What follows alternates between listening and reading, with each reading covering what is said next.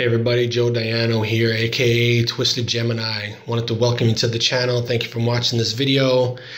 Uh, this is my second video on TNA since they've moved to Impact, um, Impact on Pop. Excuse me. If you haven't seen the first one, go back and check it out. Um, I just wanted to say how impressed I am with everything that's been going on with Impact since it's moved to Pop TV. Um, You've got the Dollhouse, Rebel, uh, Jade, Marti Bell, who they've made drastic improvements. Ironically enough, all the improvements happened as soon as Taryn Terrell left.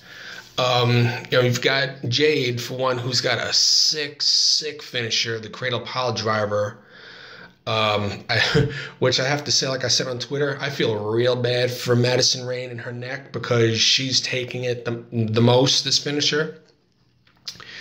Um, you know, Rebel, I love Rebel. In my opinion, she's got one of the best entrances in TNA next to Velvet Sky. So it's like tied for first, basically. Which like I've said on Twitter, you know, if Rebel, if she ever watches this video, I hope to God you'll give us that entrance at least, you know, one time a month. You know, all your male fans will be really happy. um, but yeah, you know, since Taryn Terrell departed from TNA, she, you know, she was a, she became a born again. The the entrance for the um, the Dollhouse when they show it, because in the past like two or three episodes they haven't shown it it's they've been more sultry, more sexy. Um, I'm not I'm not sold on the whole Awesome Kong edition yet. Um, not not because of looks, but I don't know. It just feels to me like she just doesn't fit what the dollhouse is supposed to be. You know, I kind of feel like this version of the dollhouse with Kong, she's basically just using them to help her win and to get to where she wants to be and that's the TNA Knockouts champion.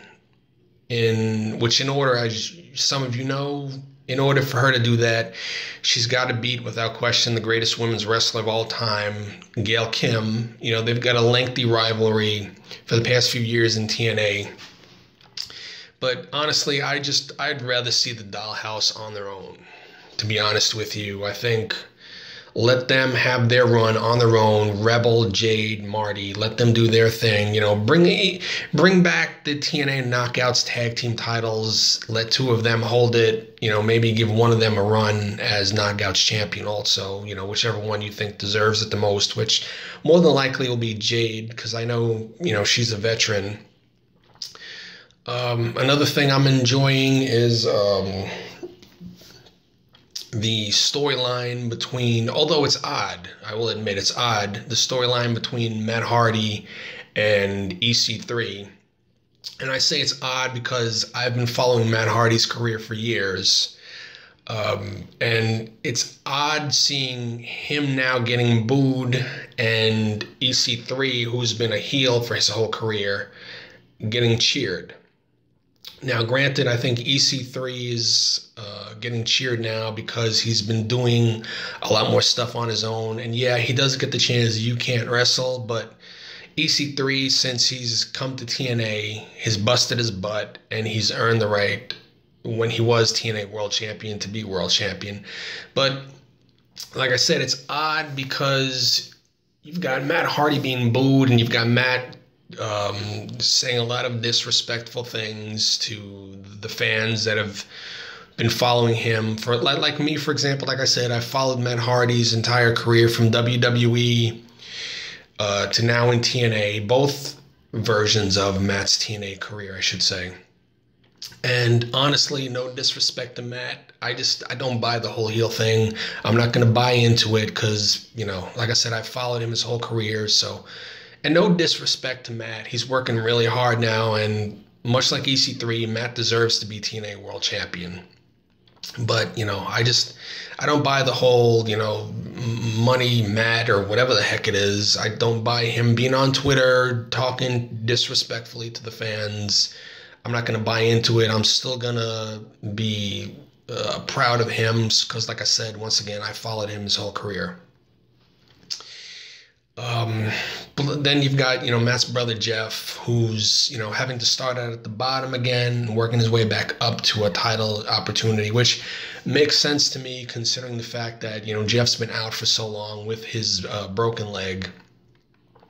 He's in the middle of this thing with Eric Young, which, in my opinion, Eric Young is the single best uh, heel, villain, whatever you want to call him, in professional wrestling today. Because I mean, he faced Chris Melendez, a soldier with one leg who's now in wrestling, and he took the guy's leg for God's sakes. When's the last time you saw something like that, other than maybe Triple H and WWE pretending to have sex with a, with a, a dead body?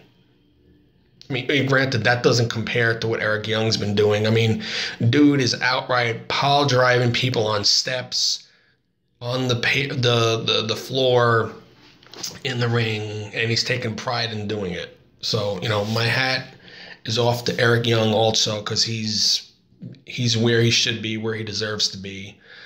Um, although I have to say one thing that I'm not also I'm also not totally sold on is Tigre Uno. And not because he's not a deserving champion, because he's the X Division champion now. He is. He is. Don't get me wrong, but it just it kind of bothers me that when he's in the ring, there's those occasions where it looks like he botches something. And, um, you know, when Tigre Uno does moves, he does those spectacular moves, but at the same time, it's a spectacular move that can hurt somebody pretty badly.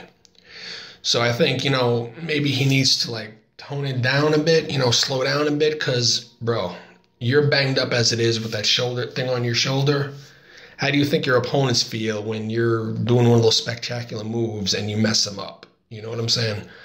Um, you know, I love the Wolves, Eddie Edwards, Davey Richards. You know, they're in the middle of this thing with, now with uh, Crazy Steve and Abyss. And um, Abyss, um, excuse me, Crazy Steve's, I guess, girlfriend, maybe? I don't know. In my, in my opinion, this chick would give Harley Quinn nightmares and make her wet herself you know, she's that frightening.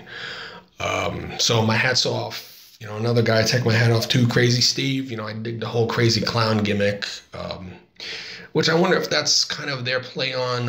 Um, you know, I mentioned Harley Quinn, so I wonder if that's Impact's way of making a play on um, the Joker and Harley Quinn, you know, with Crazy Steve and his new girlfriend. And I apologize for not calling her by her name. I just don't know what it is. They haven't said it yet. But um, yeah, so it's it's kind of unique this whole situation with um, the Wolves and Abyss and Crazy Steve because I don't think the Wolves have ever had somebody just you know go right at them, you know, play the mind games with them, show them no respect because the Wolves are one of the best tag teams in wrestling, hands down. We all know that.